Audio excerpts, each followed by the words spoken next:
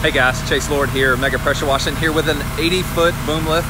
Do not have that bad boy extended out completely to 80 feet, but I've got Ryan up here.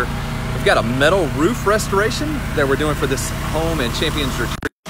And Evans, uh, customer had lots of buildup of algae on the roof.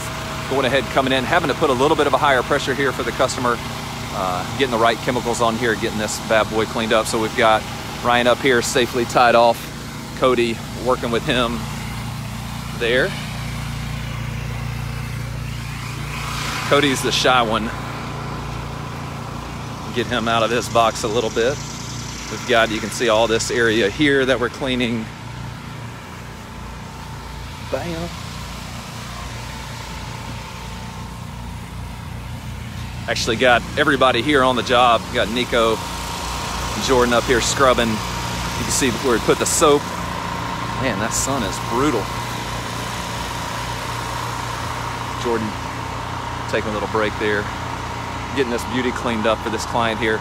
Anyway, just want to give you guys a preview. This is actually the primary reason we have this 80 foot boom lift is this area up here. See if we can, actually you can't zoom in. Uh, that area, that second story where we can't access it, you can see we have, we've got a fence here and there's actually another roof right in that corridor area uh, that will have that 80 foot boom lift. So just want to give you guys a preview of what we got going here. The guys are working hard.